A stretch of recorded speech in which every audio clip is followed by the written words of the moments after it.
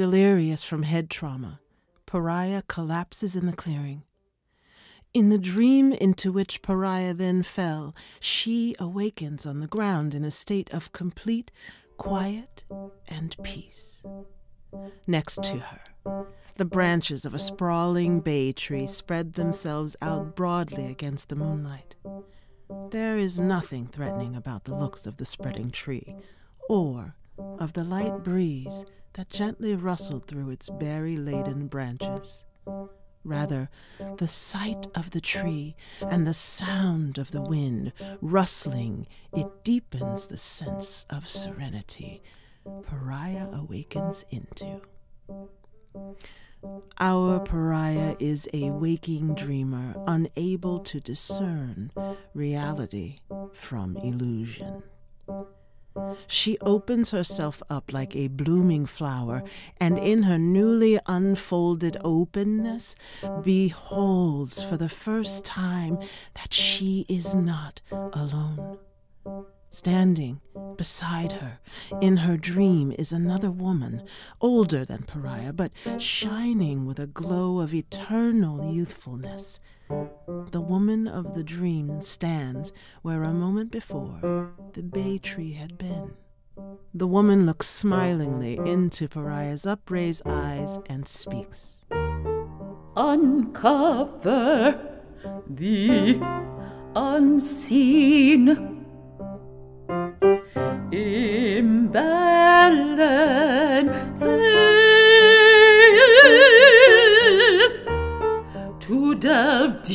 deeper into the present. If only with our feeling of responsibility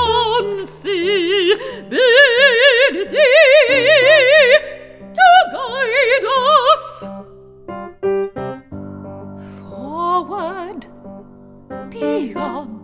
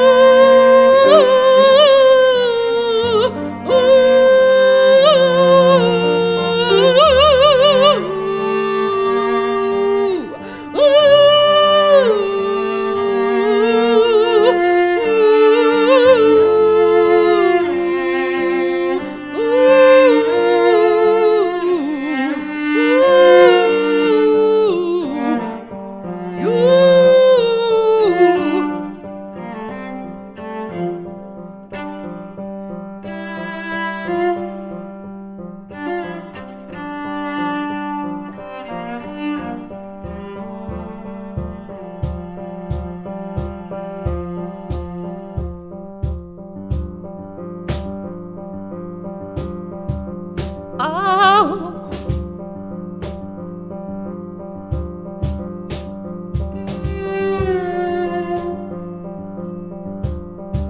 Oh. Hush. To beyond the simple construct of what's been expected of us.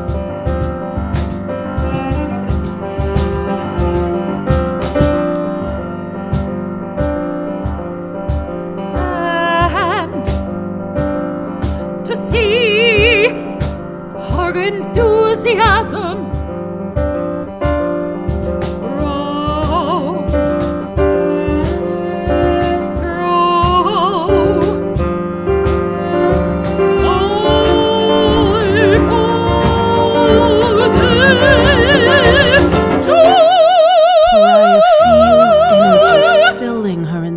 body as she gazes up at the apparition of Laurie Green and sees it slowly vanish before her, leaving her all by herself in her dream. Let this desire be reason enough, and let it show us how to heal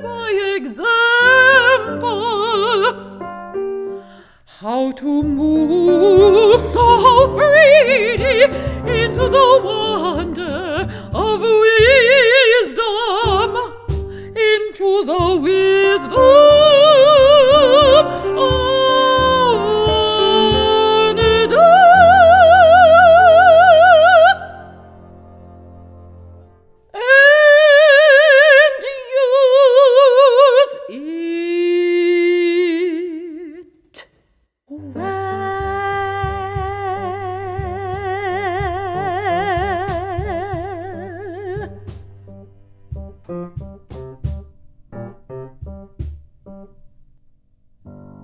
She awakens from her dream to find herself in complete solitude.